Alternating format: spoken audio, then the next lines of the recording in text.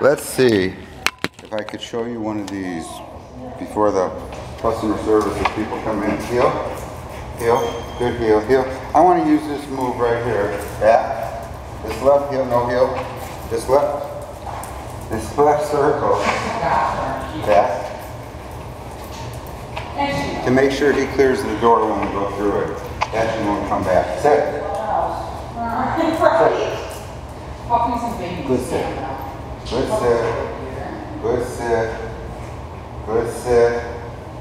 Good sit. I'm gonna leave right now. Sit. Yeah. No, three, Good sit. that's all Good you want. sit.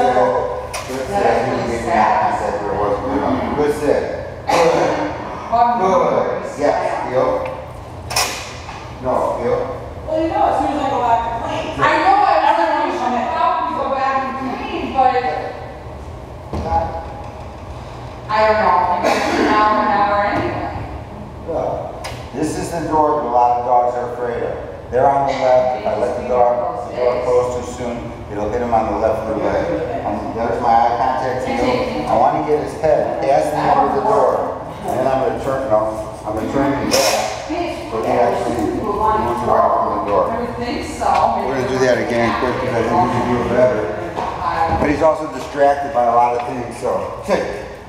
Yeah, I thought we'd have a line. Good sit. As soon as Good I sit. Good it. sit. Ours is the first big Good thing. sit.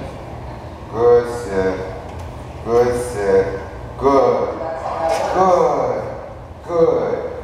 Good. You look more at my hand than me. Usually Good by sit. eight thirty, Yes, it's like, feel. oh, that's hot. Yeah, right? I know, what's going on? Sit.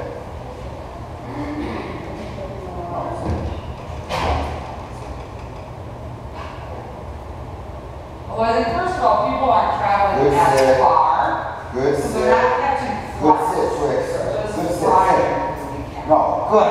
Hey. Hey. It's still. Good. Good. Yes, feel. Get his head past the end of the door. Get him to adjust to How the left. He clears the door, whether I make a half a turn or a whole circle, he's safe.